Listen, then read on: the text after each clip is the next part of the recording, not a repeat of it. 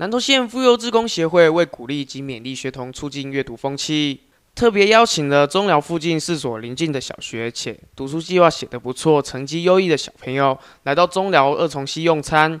县议员赖院雪也到场与小朋友们一同庆祝，并肯定学童们的优异表现。呃，今天是我们妇幼志工协会特别到中寮，跟我们邻近的这四所小学啊，招待我们阅读计划写的相当棒、成绩表现非常优异的小朋友，来招到他们到二重溪来用餐。每一位小朋友可以说都是非常的开心哦。我想这是连接我们有限的资源，那么也有感于我们妇幼志工这一群姐妹长期来深耕我们妇幼关怀的这个区块。新议员提到，因为大部分学童家境都不是很好。对阅读的接触并不多，因此妇幼志工协会下乡前来辅导各个国小学童的阅读风气。发现许多小朋友都是一块璞玉，经过雕琢后，阅读能力相当好，成绩也非常优异。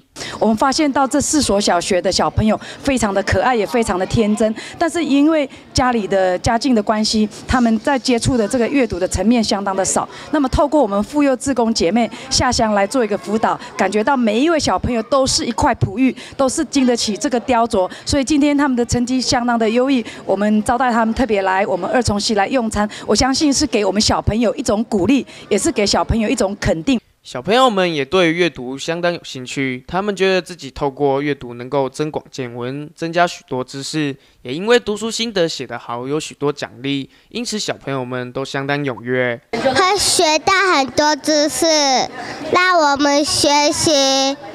写这个阅读心得，让能让我的知识变得比较广。呃，因为有许多福利，所以会让许多同学想要认真的写。